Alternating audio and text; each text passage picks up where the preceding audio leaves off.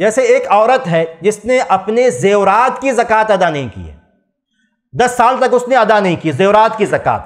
क्यों नहीं अदा की? इसलिए कि क्योंकि उसे यह बताया गया था, किसी आलिम ने, किसी आलिम का यह फतवा था कि जेवरात में ज़क़़त वाजिब नहीं होती है।